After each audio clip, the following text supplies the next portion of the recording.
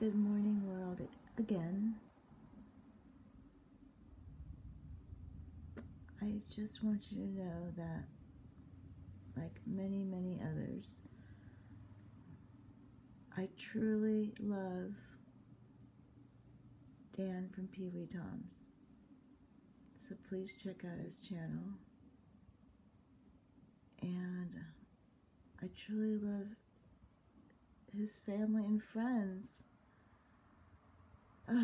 I'd give anything to be hanging out with them right now.